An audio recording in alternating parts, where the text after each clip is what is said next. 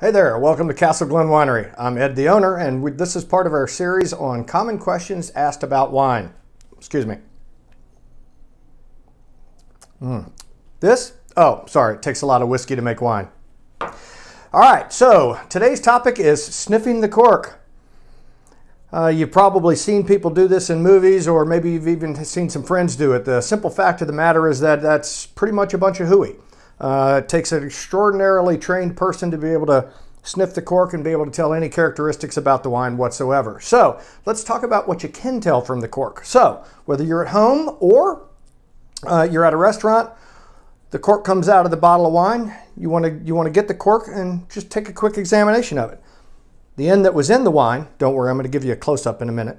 The, the end that was in the wine should be obviously dark stained from the wine. Uh, it should be soft and supple and damp, indicating that the wine was stored correctly.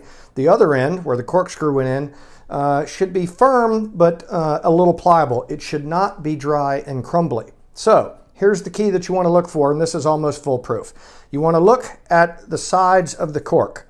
If wine, if there's a wine stain that goes from one end that had the wine all the way to the corkscrew end, if there's a line that goes all the way from one end to the other, that bottle of wine is bad, guaranteed 100% of the time.